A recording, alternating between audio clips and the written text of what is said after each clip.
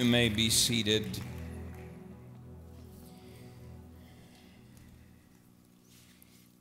This message will be required listening for the entire congregation because of the nature of the depth and the importance of it.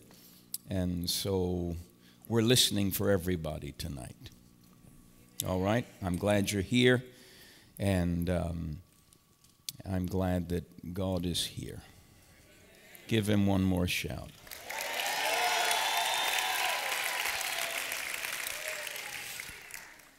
One of the, let me just preface what I'm about to say in terms of unfolding the breaking of the spirit of mammon by carefully letting you know that in a day when there's so much conversation about law and grace, that it's quite easy to get caught up in the idea that there is no law in the new covenant and that grace means however we think it is, that's the way it is.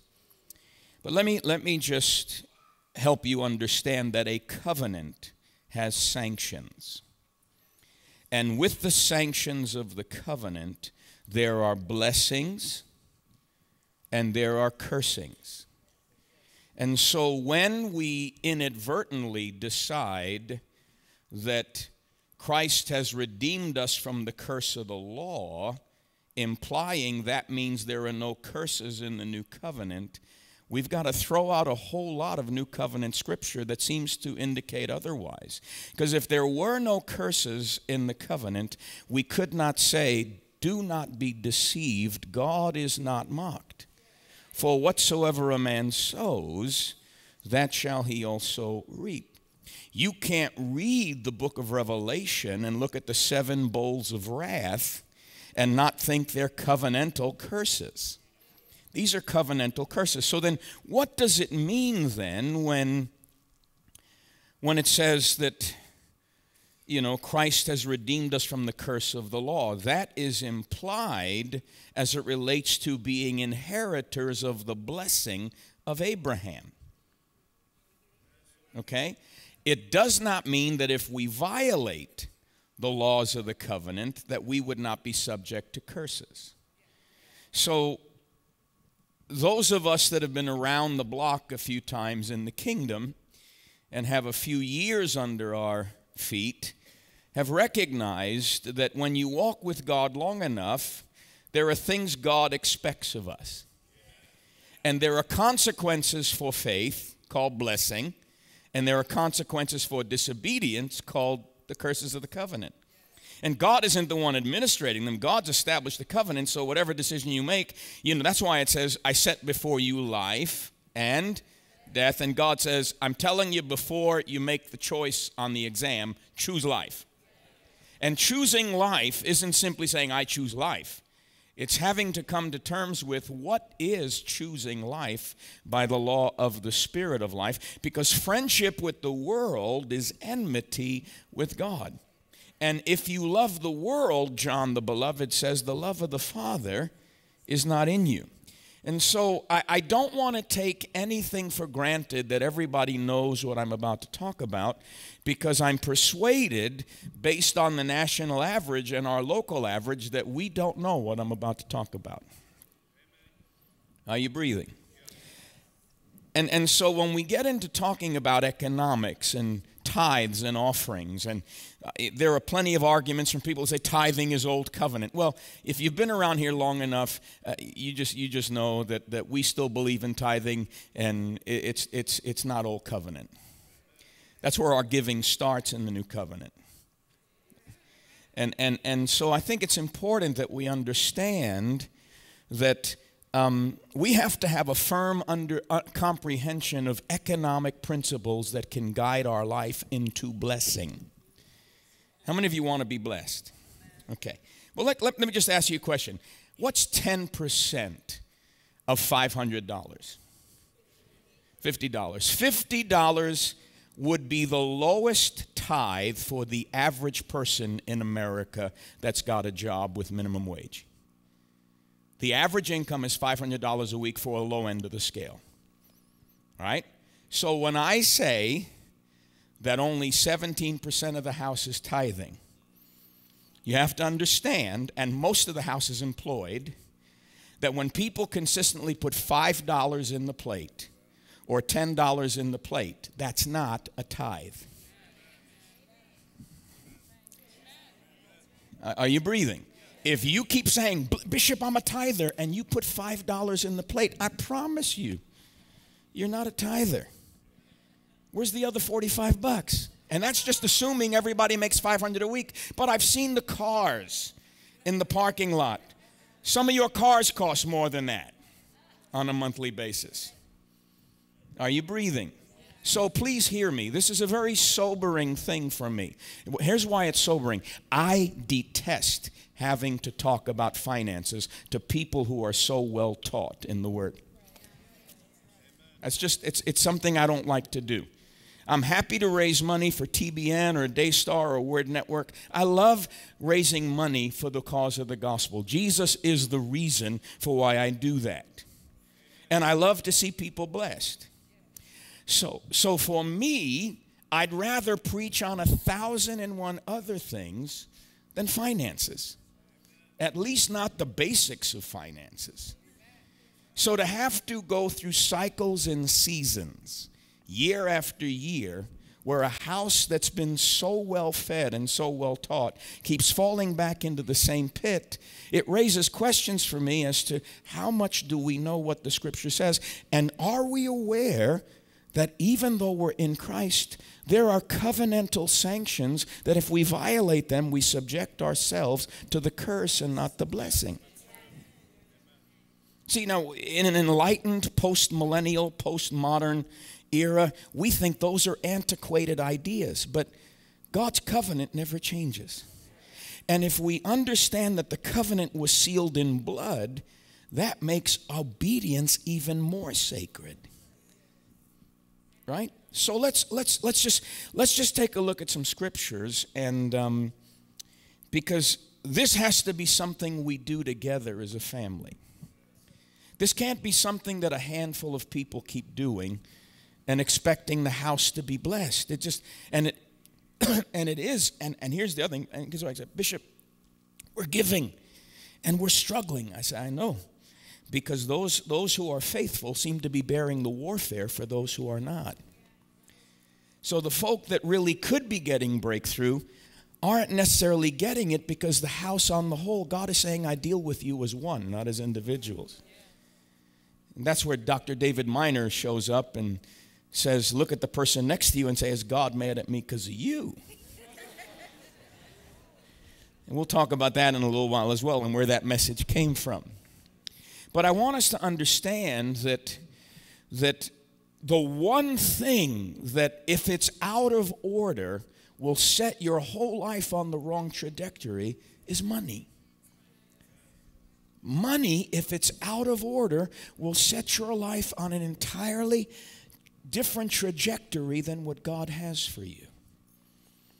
You say, Well, Bishop, do you know that millennials don't want to hear about money? Which is precisely why they need to hear about it. Because it's the baby boomers that finance the kingdom, the millennials keep their money in their pocket. And what does God have to say about that? And there was silence from the 40 year olds under. You don't have to convince me to tithe. You don't have to convince me of the spiritual blessing that's in my life and my wife's life because of tithing. You, and, and I'm not apologizing for being blessed. And those of you that are blessed, quit apologizing for your blessing. God's prospered you. Abraham's blessings are in your life, and you ought to get happy about the fact that you're blessed. I'm glad somebody told me I could live the blessed life a long time ago. And I dared to believe that God wasn't cheap, God wasn't poor, God wasn't broke, and He didn't expect His kids to be broke, cheap, or poor either. He expected them to be blessed in their going out, blessed in their coming in, blessed in the basket, blessed in the store, blessed in the city, blessed in the field, blessed from above, not from beneath. I expect God's kids to be blessed. So when God's kids aren't blessed, there's something wrong with the picture and it's probably not God. And statistics tell us the reason it isn't God. Because the average Christian in America and the average Christian at COTLE gives 3% of what they get to God. And then make sure I didn't get my tax deductible receipt. How come Misty didn't send it to me? Say, because we didn't want to embarrass you. Either that or we need you to get up and preach and tell us how you can do on $250 a year and drive that beautiful car and have that gorgeous house, how you can take $2,500 of income and stretch it out to buy that car, the house you live in, and everything else. We didn't want to embarrass you. But you're more concerned about Uncle Sam than you are about the Father in heaven. And we're living in a day when Uncle Sam may take away our tax exempt, which means we can't count on you to support Jesus at all. But people that are true tithers couldn't give a rip about Uncle Sam. And maybe the best thing that could ever happen to the church in the days that lie ahead is we lose our tax exempt status and find out where the real followers of Jesus really are because I want to disciple a company of men and women that are going to give God their best and give God their all, whether Uncle Sam rewards them or not.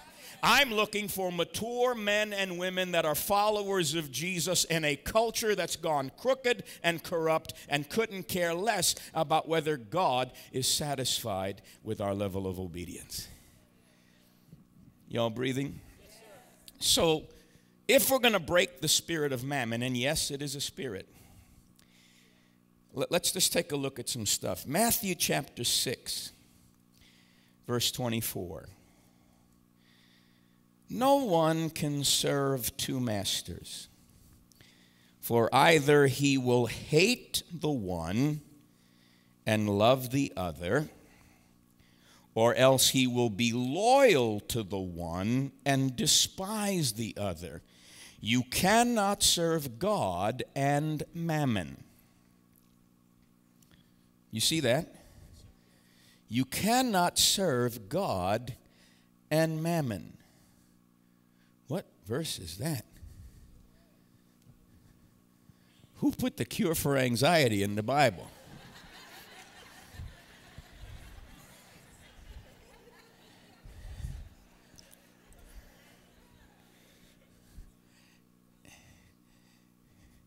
And so, when we look at the words of Jesus, first I want you to notice, he says, No one can serve two masters. He's trying to say me, he says, and, and he says there are two masters.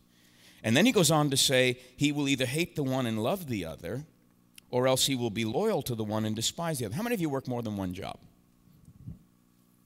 How many of you know it's possible to love both your bosses? So clearly, whatever Jesus is talking about isn't working, not about talking about working two jobs. Because you can serve two different people and love them both and be loyal to them. This is a very particular, you cannot serve one or the other. And this is so particular that Jesus says you will either love the one and despise the other, or serve the one, be loyal to the one, or hate the other. So these are very strong terms. How many of you know that if the letters are in red, Jesus is talking? And not that you should pay more attention to him than any of the other letters, because he wrote the whole book. The Holy Spirit is the author of the whole book. But when he says something, you want to pay careful attention to the verbs and adjectives he uses to describe and understand what he's saying, because Jesus is making a very clear argument here that there is something in life so important and so essential to understanding his Father that he says, This is all related to my daddy.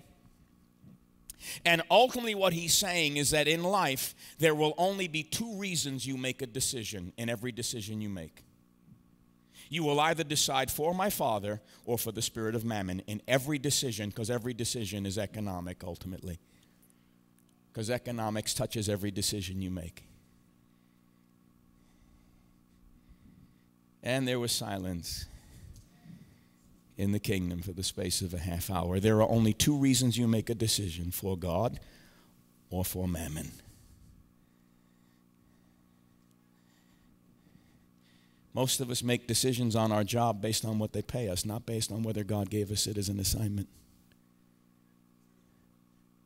Because we love mammon more than we love God. People relocate because they got a job, not because God sent them to a city to plug into another church. In the day I lived in, it wasn't a job that brought us to another city. If we were part of a covenant family, we didn't leave unless God released us, the elders blessed us, and we had a place to go to called another covenant family. It wasn't a job that relocated us because money wasn't what governed the decisions we made. I'm sorry, all you millennials that think you have reinterpreted what reality is, but that's not what reality is from a kingdom perspective.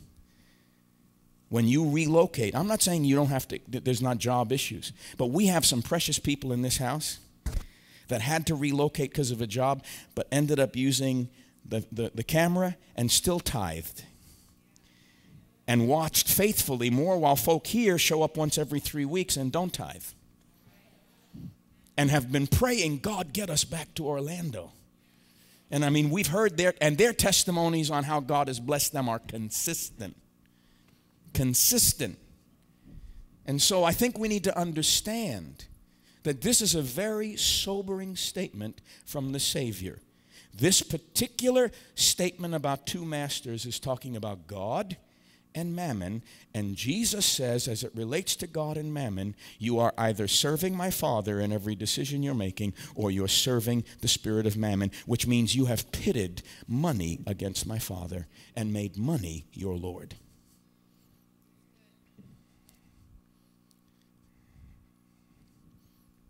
It's quiet. Luke 16. And I may take a little time with this tonight because this is important. All right? Just, just Papa's in the house. I'm Papa, just in case you didn't know who Papa was. This is a theocracy, and I'm Theo. But Papa's in the house. And I'm not, I'm not talking to you as a prophet. I'm not talking to you as a bishop. I'm talking to you as your apostolic father. Because I want to see you blessed. And I want to see the house get to a place where God can put a commanded blessing on it. And we don't have to keep juggling things because God's kids are playing games, claiming they give lip service to Jesus, but the the Lord in their life is a demon spirit named Mammon. These are serious things because there are blessings and cursings that come with the agreements you make.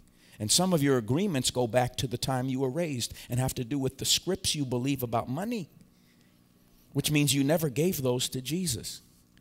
Which means he can't deliver you from them because you're still in agreement with them. Because a covenant is an agreement. In order to say yes to God, you've got to agree with God. But when you're serving and loyal to mammon, it means you agree more with mammon than you do with Papa. How many of you know that's sobering? Okay, so there's a weight, there's a weight to what I'm saying. And there's no way to there's no way to water that down. It's one of the reasons I don't like talking about this stuff. Cuz I like to be up.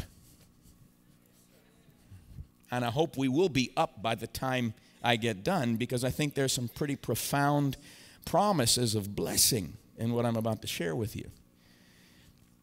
But they don't come without obedience. They don't come without obedience. Luke 16, listen to this. Now he was also saying to the disciples, There was a rich man who had a manager, and this manager was reported to him as squandering his possessions. And he called him and said to him, What is it that I hear about you? Give an accounting of your management, for you can no longer be a manager. The manager said to himself, What shall I do since my master is taking the management away from me? I'm not strong enough to dig. I'm not ashamed to, I'm ashamed to beg.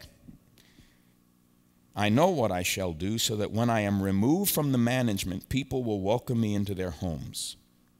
And he summoned each one of his master's debtors and began saying to the first, How much do you owe my master? And he said, A hundred measures of oil. A hundred measures of what? Interesting. Trust the story. Trust the story. This, he's using oil, which was a, a commodity in that day, but we know what oil ultimately speaks of, don't we? All right. So just there's so many things here we could go into. And he said to him, "Take your bill and cut it down and quickly write 50." So from 100 to 50 is how much? Half. Then he said to another, And how much do you owe? And he said, A hundred measures of wheat. What did he say? That's revelation. The, the grain, the broken bread. It's, got, it's tied to revelation. A hundred measures of wheat. He said, Take your bill and write 80. And, he and, he, and his master praised the unrighteous manager because he had acted shrewdly. For the sons of this age are more shrewd in relation to their own kind than the sons of light. There's a reproof right there. Jesus is saying something about the particular temptations the sons of light go through, which means they didn't even learn the lessons they were supposed to learn. You still listening? And I say to you, make friends of yourselves by means of the wealth of unrighteousness. In one translation, says the mammon of unrighteousness, so that when it fails, they will receive you into the eternal dwellings. When what fails? Money. He who is faithful in a very little thing is faithful also in much. And he who is righteous in a very little thing, uh, unrighteous in a very little thing, is also unrighteous in much. So if you make $500 a week, that's the minimum, and you put in $5 a week, God says you're unrighteous. Because God can't trust you. That's what Jesus said. How many of you like Jesus? How many of you, oh, Jesus loves me? Really? You better just, you better just go back here. He says, I don't trust you. I don't trust you. You're not faithful. See, when we get home to glory, this is what you want to hear. Well done, thou good and faithful servant. Servant. Because no one can serve two masters. He will either love one and hate the other, serve one and despise the other. This is all about serving. So if you're not serving Jesus, guess who you're serving? The God of riches. His name is Mammon. Can I keep going? If you've not been faithful of that which is the use, oh, but watch this. Therefore, look at verse 11. Here's how Jesus hangs the whole question of being spiritual and being trustworthy. Therefore, if you have not been faithful in the use of unrighteous wealth, who will entrust the true riches to you? First of all, who's going to give you the true riches? The spirit of wisdom and revelation. It's going to be the Father, the Son, and the Spirit. What Jesus is saying is if you don't manage your pocketbook, my Father will not dispense the true riches of the kingdom. You're the one that will lose, not my Father. Because the sanctions of the covenant will not bless what God has cursed. Yeah, y'all, y'all breathing? Okay.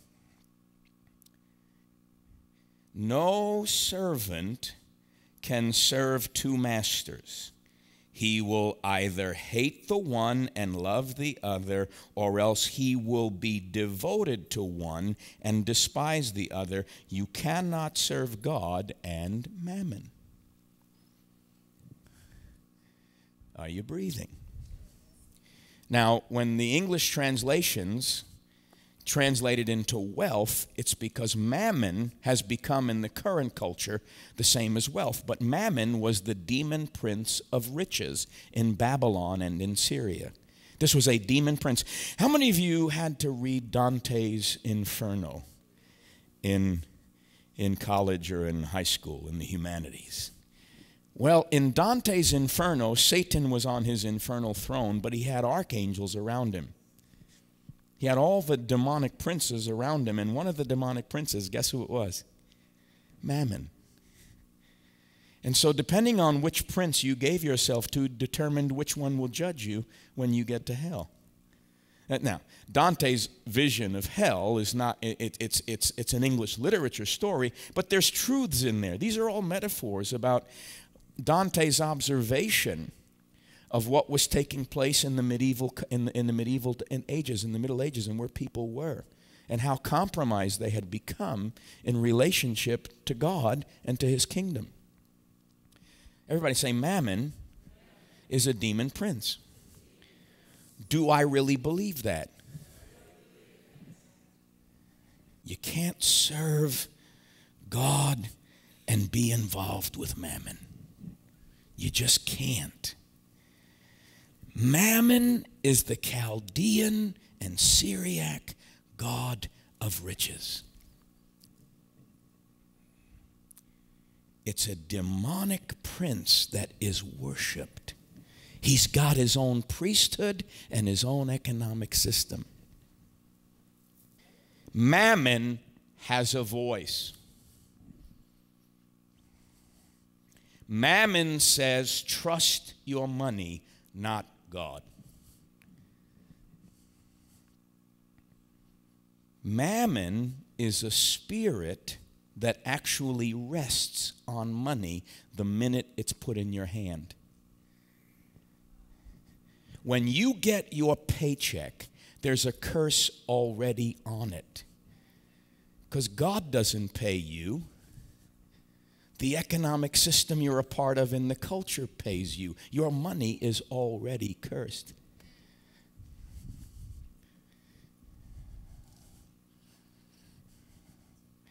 Uh oh.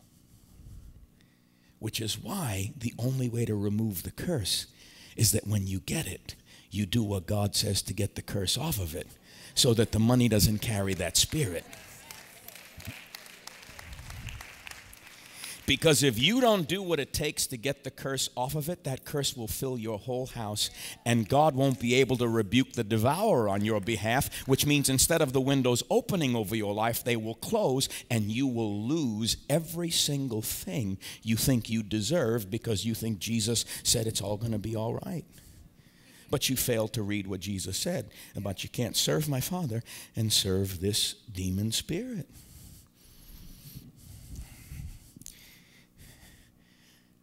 Roman, am I doing okay? Brother Utterbach would have said the same stuff, wouldn't he? I can't be that tough, brother. I know if, if, Clint would say it, I know it's right. Listen, I didn't, I didn't get this stuff out of my own head. Okay, studied the scripture, and I've listened to some great men and women of God on finances over the years. Clint being one of them, Clint and Sarah. Clint's in heaven now, but though he is dead, he still speaks. Mammon speaks. It says, trust money, don't trust God. Money that's not submitted to God has the spirit of mammon on it by default. Guess who said that? One of the leading pastors in America, who's got one of the largest churches in America and has the highest record of giving of any church in America. He wrote the book called The Blessed Life. Pastor Robert Morris, Gateway Church, Dallas, Texas. I just want you to understand it's not just me telling you something. Robert says money that is not submitted to God has the spirit of mammon on it by default. Which is why it's called currency. Do you understand that currency and current come from the same root word? You plug something into an electric socket and a current begins to flow there's energy that flows through that plug. Money has an energy moving through it and causes it to flow. What you want to make sure is that the energy flowing on your money is divine and not demonic.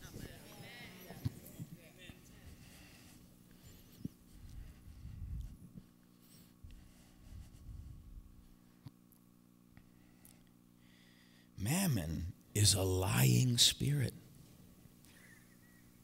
It's one of the spirits that's in the world. It's a lying spirit. Only those who surrender their money to God have His Spirit resting on it. How do you know you're under the influence of mammon? You have a fear about how much money you're going to have. If you have financial fears, you're not surrendered to the Father. Mammon has a hold on you somewhere and will ultimately determine how you manage your money. You're already caught. I'm going to show you the way out. Fear tied to money is because you love the wrong master.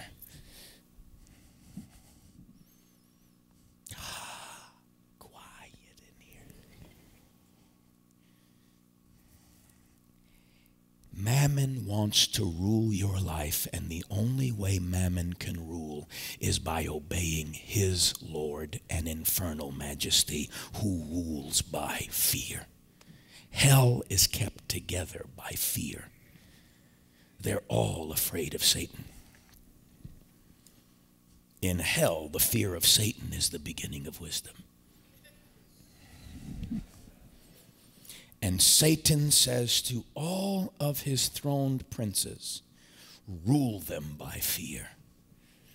And when money and fear come together, there's a demonic influence in your life. The enemy never rules anything without fear. Mammon is seeking slaves and it's also seeking worshipers.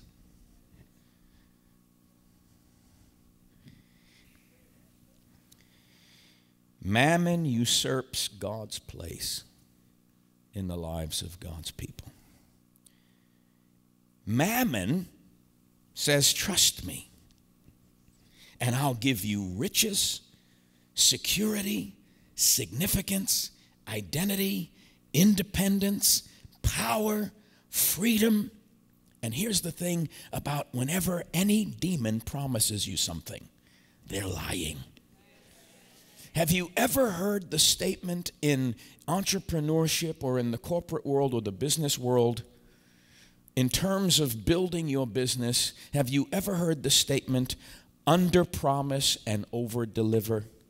It's because most people over promise and under deliver. The enemy always over promises and under delivers. Do you understand that when the enemy says to Jesus, Nobody's looking right now, all the kingdoms of the world belong to me? Lie. Lie. He's a liar. They don't belong to him. The world may lie in the evil one, but the kingdoms of the world belong to the Lord. So when he says, Worship me once and I'll give them to you, Jesus says, You a joker or what? You're not getting my worship, and these don't belong to you anyway. They ultimately belong to me, and I don't need to bow down to you to get them. And what you're trying to do is get me to go away from the one thing I've got to do, which is go to the cross to redeem and buy back everything you hijacked from my Father. Get behind me, and if I still see your ugly mug, keep on going. Talk to the hand. That's what Jesus said at the third temptation talk to the hand. Get behind me. Mammon promises riches, security, significance, identity, independence, power, and freedom, and gives none of them to you. So much so that when you get it, you want more because it never satisfies. Look at all the big boys that get paid hundreds of million dollars a year to throw a ball or to carry a ball. And look at all the failure stories years later, because for all they had, they were a slave and they wasted all. It's because they've got the wrong God. And so now their identity is how big of a blingage can I wear to let everybody know I've arrived?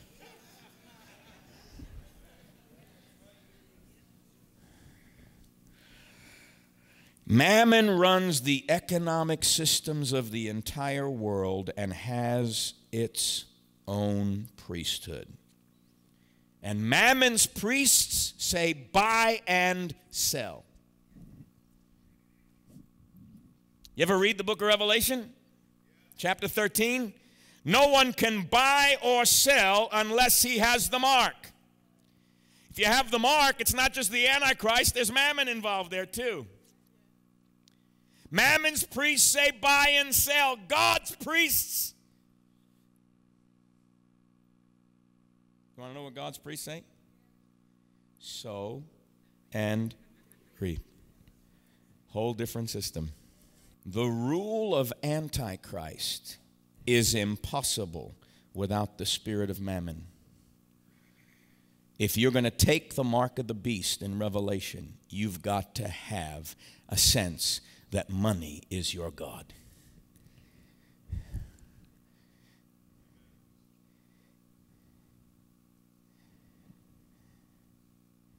There are going to be people, as things progress, if God doesn't intervene, it's going to all boil down to economics.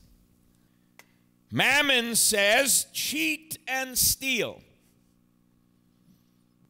Antichrist dominates through economics. You can't serve the spirit of mammon and serve the spirit of Christ. They stand in direct opposition. There's enmity between the two. Money and mammon are not synonymous. Money is not mammon, mammon is not money. Money is simply the agency whereby mammon works. Money is not evil. But the love of money is the root of all evil. And if the love of money is there, mammon is there. Money is simply the medium of exchange. 1 Timothy chapter 6 verse 10 tells us, well let's go there. 1 Timothy 6 verse 10.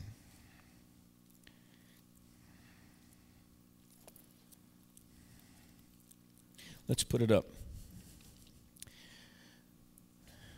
For the love of money is a root of all sorts of evil, and some, by longing for it, have wandered away from the faith and pierced themselves with many griefs. How easy prey are you to the next big marketing thing that promises you you're going to make a lot of money?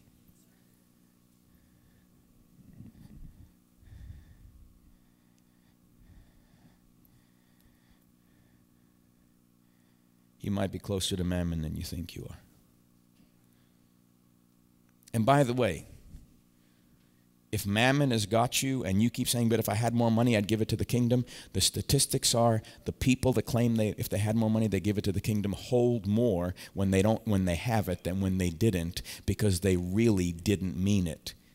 Because if you want to give to God, you can give to God as a widow with two mites. And Jesus said she went away blessed, which means something happened covenantally for her, and that turned the tide. When she put her two mites in there, Jesus said she went away blessed. That's not just the word to say, oh, how nice. No, God spoke a word. Blessed means to speak well of. God said something over her life, and her situation turned around. You can count on that because that's the testimony of all of Scripture when it comes to the blessing of God. The blessing of the Lord makes rich and adds no sorrow. Mammon can't do that. Mammon will just curse you.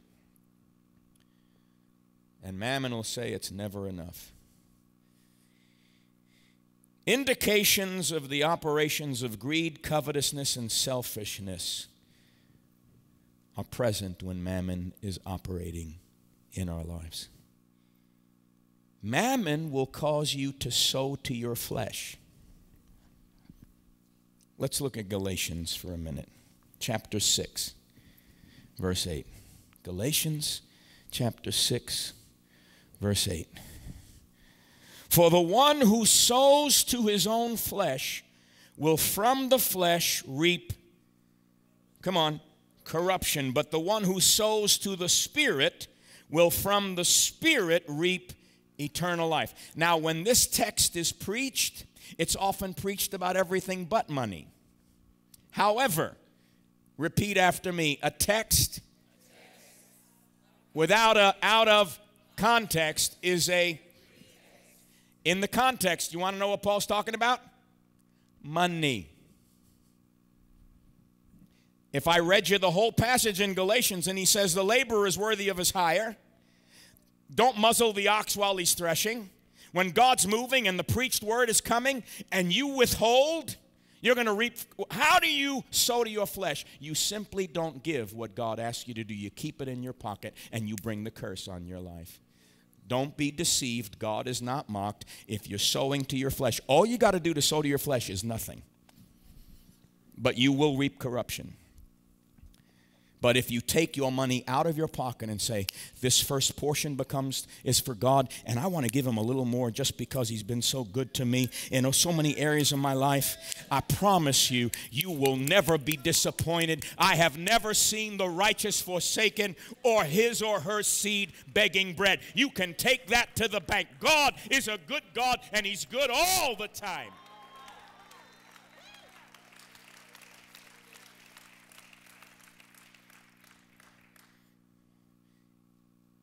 All you got to do to sow to the flesh is keep it in your pocket. By default, you're sowing to yourself. Mammon is opposed to God. I'm saying the same thing in a bunch of different ways, but I'm just trying to make it as practical and as simple as possible. Mammon is opposed to God. That spirit is at war with God. Do you have your money or does it have you?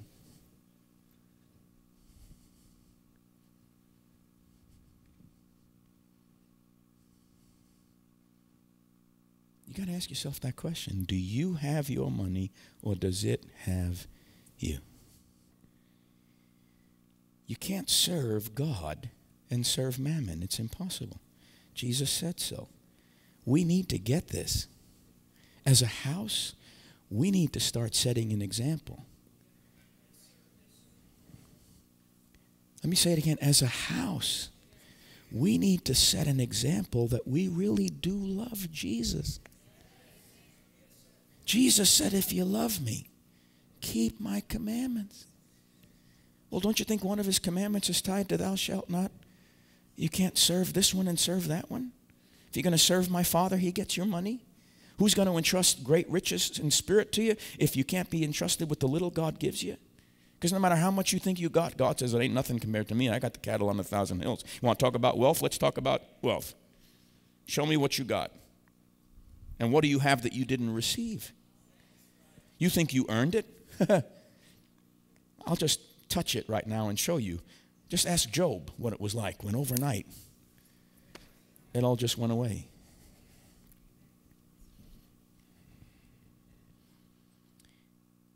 When it comes to mammon, there are observations, interpretations, attitudes, beliefs, and actions that that spirit influences, which is why when it comes to money, your mind needs to be renewed so that spirit isn't operating in your thinking. Haven't got time to get into all that. However, I will give you a preview of a coming attraction. The Spirit of God said, I have to start a new series on Sunday, and it's all going to be on finances.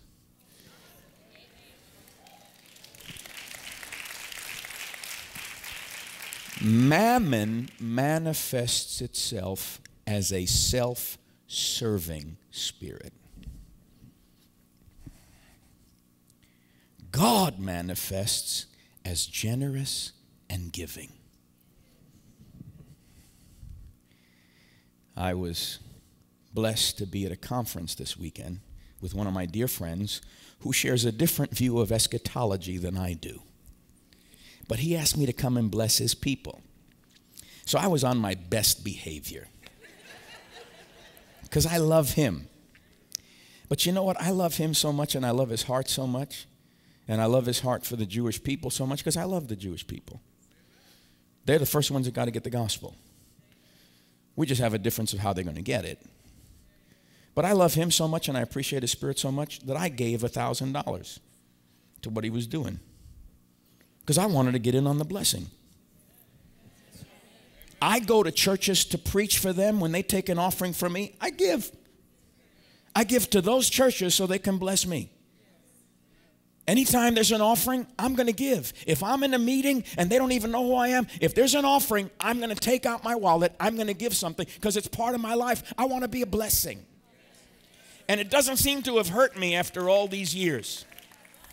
I go to Africa, I go to Ghana, and the leading fashion designer says, I want to make some shirts for me. Now, he charged a little bit more than I wanted, but these are pretty shirts. But I'm blessed. I'm not embarrassed.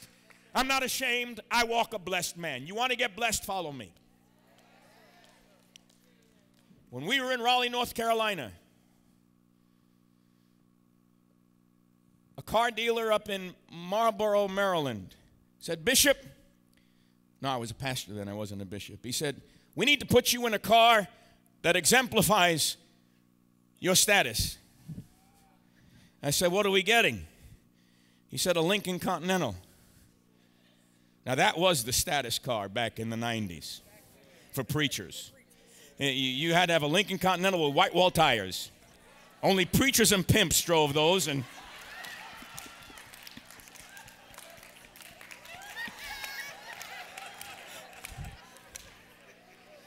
And I said to him, I can't afford a Lincoln.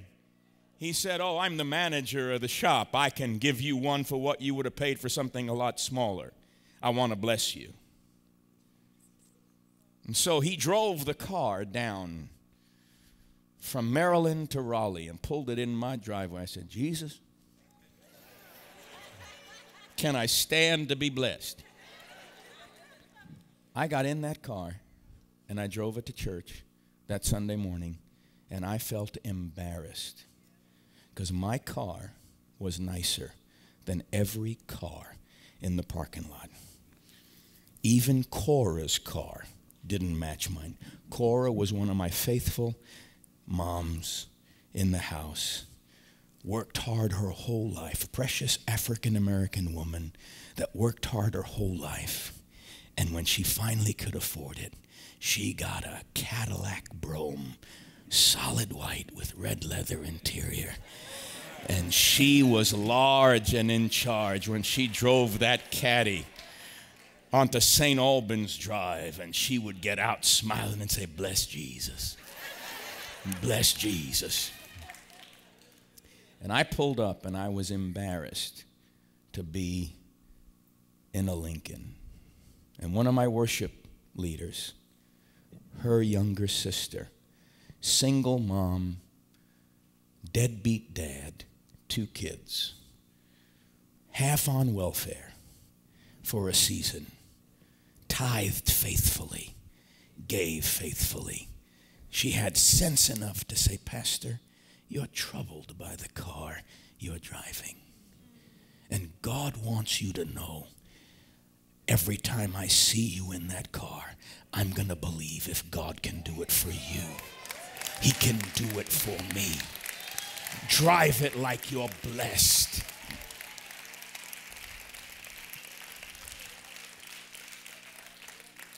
Her name is Donita. Her sister's a twin named Juanita.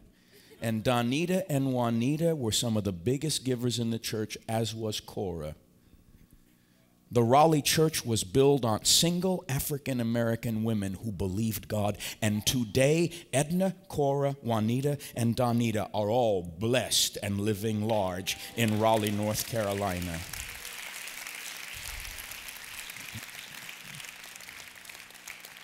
I had to learn how to enjoy the blessing and not apologize for it.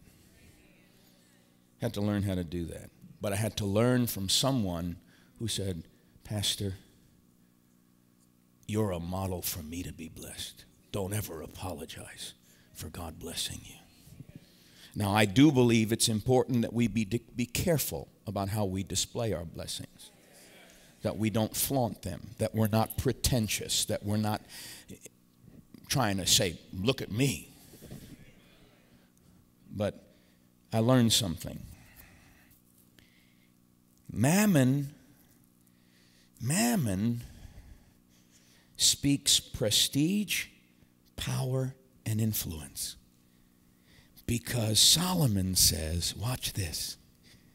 Here's another text out of context that, that some preachers have used to claim prosperity.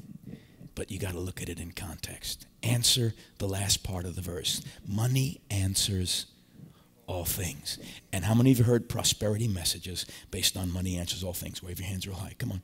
You lie, you fry. Money answers all things is Solomon's commentary on the wicked who use money with prestige, power, and influence to buy anything they want to increase their wickedness. Money doesn't answer all things. Reality check God answers all things. Money can't give you significance, money can't give you influence, and money can't give you real power. God can give you significance. God can give you influence. And God says, if you'll let me empower you from the inside out and you'll wait long enough, my spirit will come on you and I will give you the power to be and become everything my son died for you to be and become. That's power. Listen carefully. For merriment they make bread and wine that cheers life. The rulers spent too much time in revelry and debauchery. They have too little time and energy to devote to the affairs of state. They have used God's good gifts intemperately and for thoughtless pleasure. For these worthless rulers, money is the answer to everything. So it troubles me when preachers get up and raise money based on that text because a text out of context is a pretext. Read the whole chapter. It takes money to finance their lavish lifestyle. This they possess, and they are thus able to indulge their appetites to the utmost. No doubt much of their money was acquired by extortion and bribery, as well as through exorbitant taxation. They use their high office to enhance their personal wealth.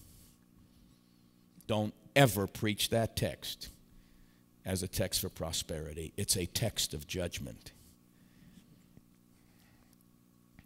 Mammon positions itself as God's substitute. Mammon positions itself as God's substitute. Money isn't a replacement for God. Money is not a replacement for God. Money doesn't answer all things. Money doesn't solve all your issues. You want to meet some of the most miserable people in the world? Let's go to Beverly Hills. Want to meet some of the biggest drug addicts in the world? The one that can afford more drugs than you will ever consume in a year. Want to meet the great, greatest family dysfunction in the world? Let's go to some of the richest neighborhoods right here in Florida, and let's go to the places where you think they all ought to be happy, and they're miserable, and they're dying left and right of drug induced overdoses and sexually transmitted diseases, but they got more money you can shake a stick at, and they're going straight to hell. Oh, yeah, that's another thing that's not popular to talk about anymore. If you love God, Jesus says you will hate mammon. The reason the Spirit will show you how deceitful it really, really is. Mammon is evil and part of the fallen realm of lies and destruction. Mammon always talks back when God speaks. What do you mean mammon always talks back? If everyone would give $75, we could come up with that $30,000 shortfall, which is now 45,000. If everybody would give $75, and you say, well, where do you come up with that figure? Well, we look at the figures of what people's incomes are based on national averages and based on what's in the house. And we see $5 here, $5 here, $5, but they've never tithed. And so we ask for a $75 offering, and here's what Mammon says I can't afford to do that right now. That's not God. It's not even the Holy Spirit. That's selfishness. I can't afford to do that right now. Well, how, what's the least I can give and get away with it? There's Mammon again. How many of you think the whole house needs to hear this message? You, you know what it would be like if the whole house repented? Next Sunday, we would take in $75,000 instead of hovering at 35,000 a week and having to struggle. And and you ought to thank God every day for your bishop and your staff because we are frugal with every dollar that comes into this house. And if there's one thing you can accuse me of a thousand things but when it comes to integrity it's the thing I try to live by and this whole staff lives by as we wouldn't even be here if it wasn't for the way we manage the money.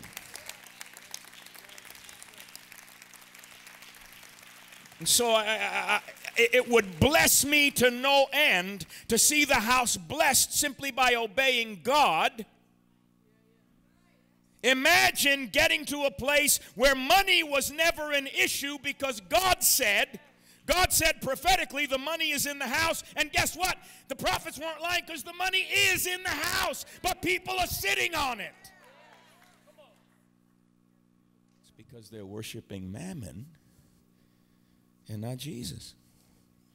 If you love God, you'll hate mammon. What do you want your children to grow up to be? Hoarders or harvesters?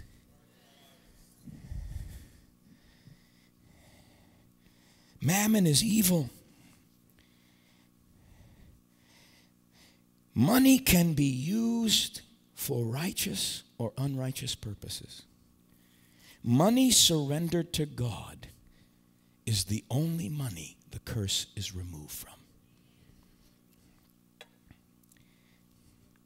Zechariah chapter 5, verse 1, don't turn there. Zechariah saw a flying scroll, or as the southern preacher said, flying squirrel. And the first time he said it, I thought there was a squirrel flying through the room. Talked about the flying squirrel. And guess what was on the flying scroll? Written front, back, up, and down. Curses. And God said, let it go through the house. I want you to understand something. If God's allowing the curses of the covenant to float in the atmosphere every time you get paid, you want to make sure that that scroll doesn't read, there's a curse in this house. You want to get the curse off of your money. Say, Bishop, you still believe in that foolishness? Yes, I'll be a fool for Christ. I don't care whose fool you're going to be, but I'll be a fool for Jesus. I don't want a curse on my money. I don't want my money cursed.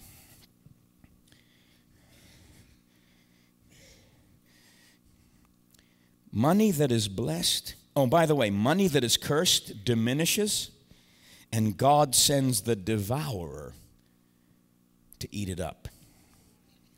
So you never have enough.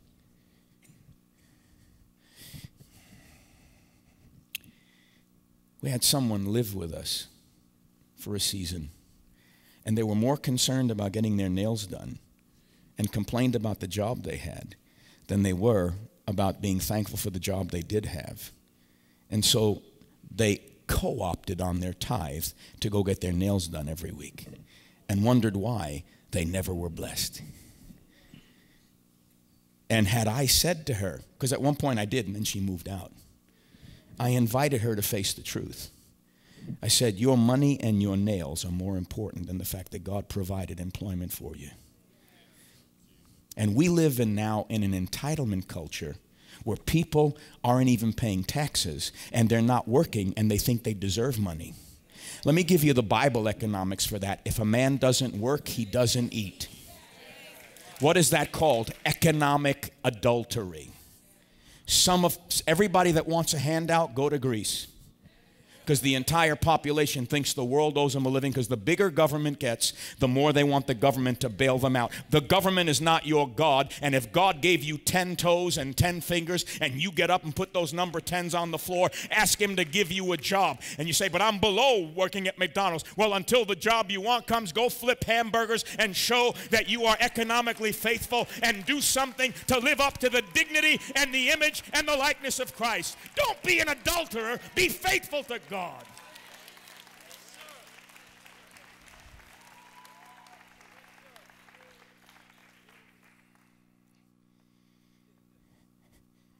If you'll bring your tithes, I'll open the windows of heaven, watch this, and rebuke the.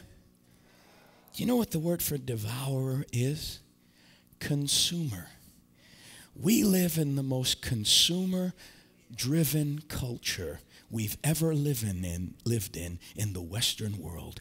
And everybody's idea is consume, consume, consume, consume.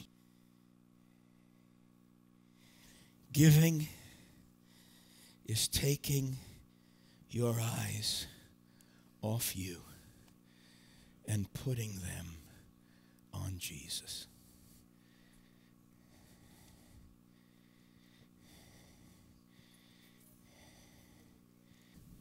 Not enough to rebuke it. We're going to rebuke it in a minute. But it's going to have to be, we're on a consistent basis. The question isn't, how, what's the least I can give to get away with this? It's going to have to be, Jesus, I surrender all. Bill said it on Sunday. I surrender all.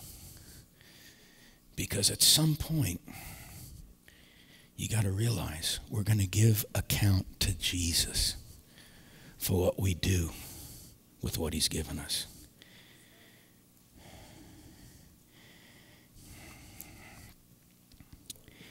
I'm going to lead us in a prayer of repentance. And I want us, even if you're innocent, because a lot of you are innocent. Okay, this is pretty much the core of the house. The folk that come for the loaves and fishes on Sunday aren't always the core. But I want us to pray and repent for the whole house. It's a biblical pattern. When Daniel cries out in intercession, We have sinned, Daniel hadn't sinned, but he understands that the one is in the many and the many are in the one. God treats us as one. And so I want you to stand to your feet. Misty, have we got that prayer? I want you to pray this prayer with me out loud. It's a prayer of repentance for financial disobedience. And I want us to mean it with all of our heart. Let's pray. Merciful Father, we ask your forgiveness for all the lies we have believed that are tied to money and are rooted in self centered belief systems and have created unfinished emotional problems and behaviors because of our false beliefs about money. We have failed to take every thought captive in obedience to Christ in the area of finance and have suffered loss because of it. We ask you to cleanse us from all unrighteousness and disobedience in relation to your will and your word. We confess that there are areas we have been resistant to change because of our attitudes, emotions, and misbeliefs, and our disobedience has blocked your blessing from flowing. We submit our minds, hearts, and wills to you in relation to our financial situations and our financial well being, and we ask that in your kindness you would grant us the grace to walk in repentance in this area so that we can live the covenantal life of promised and commanded blessing for Jesus' sake, so that his covenant can be established in the earth. Amen. I want you to take a moment and just worship Him because we're going to make some economic decrees against mammon in just a moment. But having prayed a prayer of repentance, we are now going to address that demonic stronghold. And we're going to go after it.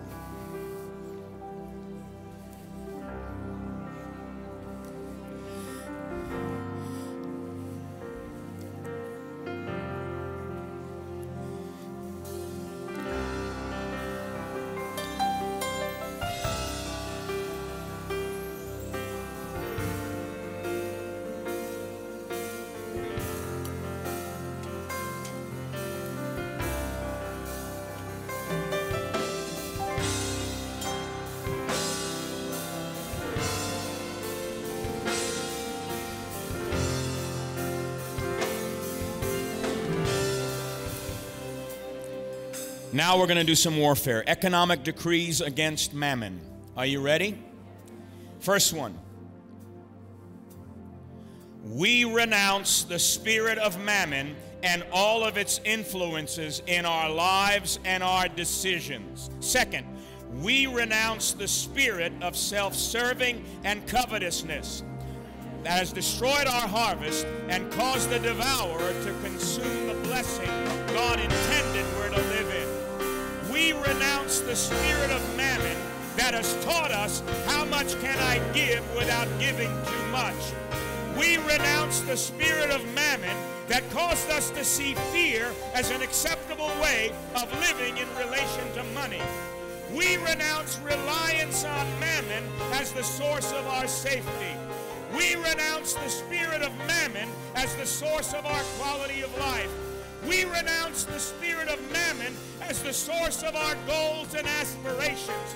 We renounce all underlying assumptions and beliefs about money that mammon embedded in us consciously and unconsciously from the time we were children through ungodly beliefs and belief systems, through fears and through generational curses.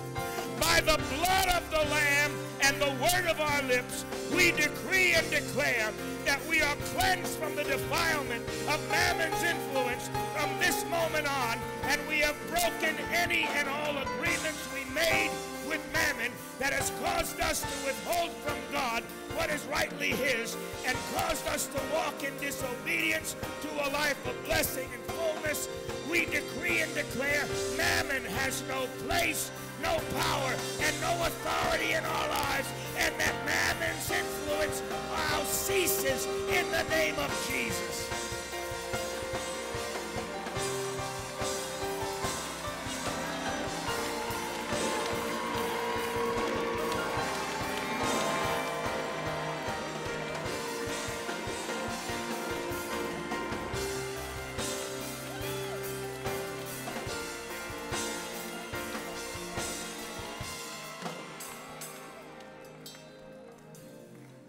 We will have this printed out for you.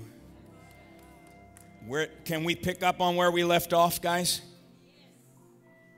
Can we get to the next one? The economic decrees and covenant with God. It's important. I just think this is all warfare.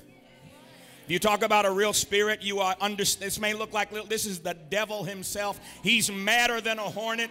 He's coming down. He's coming down. He's coming down.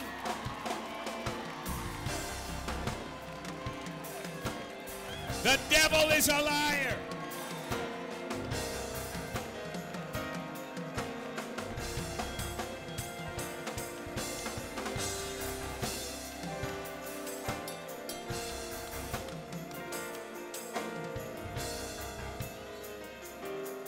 Economic decrees in covenant with God.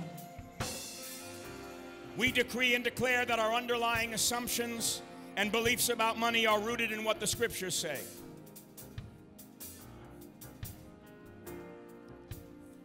You ready? We decree and declare that our underlying assumptions and beliefs about money are to be rooted in what the scriptures reveal regarding its appropriation and use, and not in the lies we learned about money from the time we were children from ungodly, unscriptural influences. We decree that the blood of Christ cleanses us from all defilement and unrighteousness. We decree that the Spirit of God breaks every yoke on our hearts, minds, and wills. We decree there is no greater power in our lives than the power of God Himself who indwells us. We decree that our God, Father, Son, and Spirit, is our supreme source of supply for food, shelter, clothing, and the basic needs of life.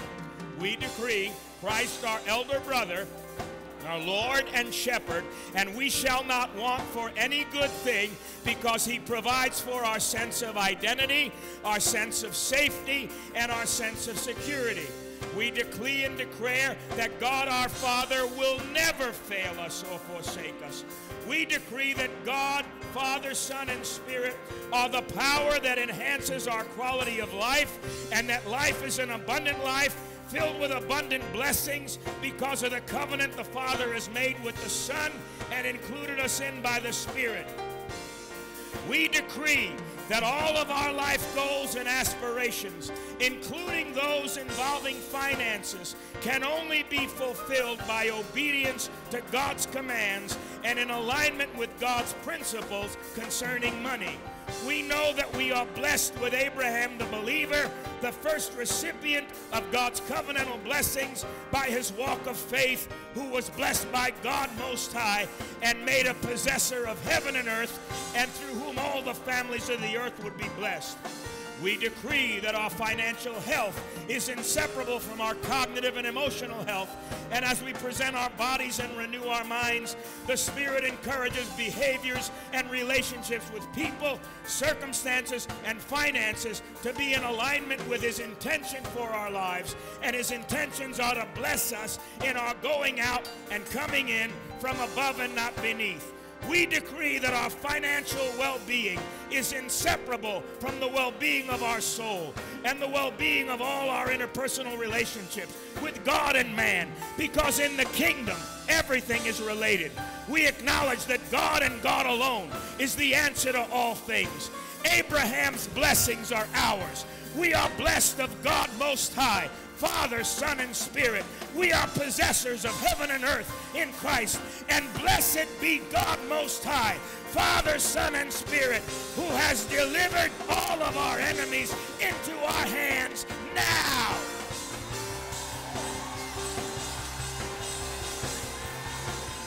Now!